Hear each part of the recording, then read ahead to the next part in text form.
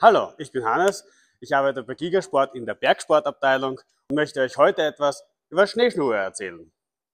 Einerseits haben wir hier einen etwas alpineren Schneeschuh, der aus Kunststoff besteht mit einer leichten Schnürungsbindung, die aber auch schnell zu öffnen ist.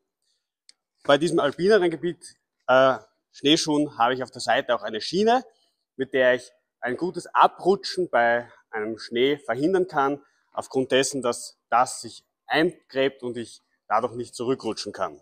Was wir auch haben, ist eine, eine Alu-Schneeschuh, der hat eine etwas flexiblere, weichere Bindung, mit dem ich auch gut den Fuß an das Gelände anpassen kann. Was auch bei jedem Schneeschuh dabei ist, ist eine Aufstieghilfe, dass ich mir leichter tue bei einem Bergaufgang.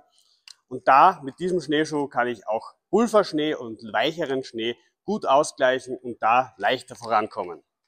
Dieser Schneeschuh ist für ein noch eisigeres Gebiet aufgrund der gezackten und schärferen Kanten. Und bei diesem Schneeschuh gibt es auch eine Bohrbindung, die sehr einfaches Einsteigen und Verschließen ermöglichen, damit man schnell und flexibel vorankommt.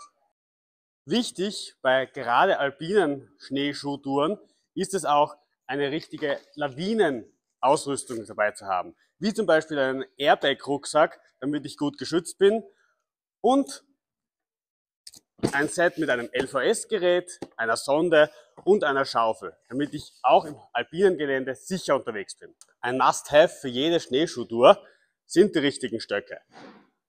Bei den richtigen Stöcken sind große Teller verbaut, damit man auch wirklich in den Schnee nicht einsinken kann.